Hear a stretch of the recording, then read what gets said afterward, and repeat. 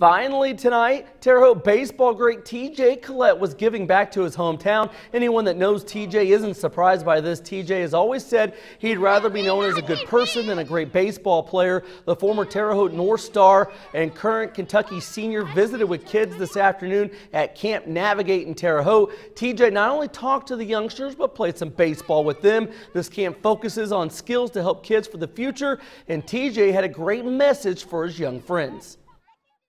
Life is pretty simple when it comes down to the two like things that I brought up.